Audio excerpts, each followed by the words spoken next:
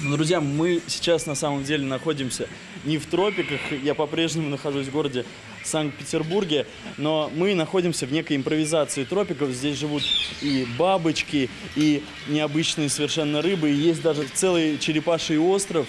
Конечно, здесь много бабочек, они превалирующих большинство, но вместе вот с этим всем великолепием соседствует настоящий целый город муравьев, муравьиный город. И они живут по определенному механизму, который отлажен лучше, чем в нашем современном обществе. В целом мы старались создать такие условия, которые будут полностью соответствовать тем условиям, которые муравьи имеют в природе.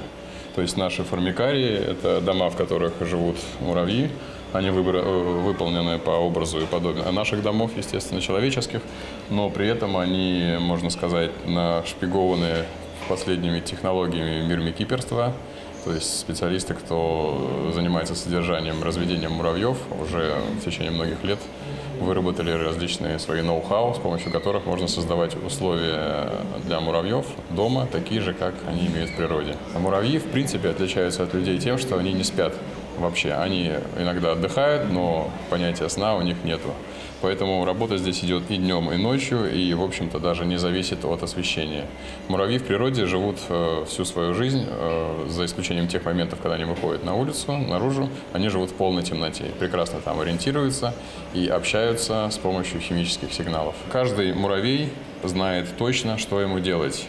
В этом, в общем-то, основная загадка, наверное, касаемая жизни муравьиной колонии, что в отличие от нас, у муравьев нету никак, никаких рычагов контроля, давления или управления. У них нет начальников, нету руководителей, нету полиции, нету зарплаты, нету ничего, чем регулируются отношения в человеческом обществе. Но при этом муравьи, каждый отдельный из них, точно знает, что и когда ему делать. И, как мы видим, э, справляются они со своей работой на ура. Сейчас население этого муравьиного города составляет 2-2,5 э, тысячи муравьев. Оно будет расти, как сказали нам организаторы, вырастет до 5 тысяч муравьев. А продолжительность жизни около 25 5 лет. Но ну, я думаю, э, муравьи, ребята настоящие трудоголики, еще успеют отстроить дополнительные муравейники, и, возможно, здесь появится даже свой стадион. Денис Ладонкин, Алексей Огородников, Live 78.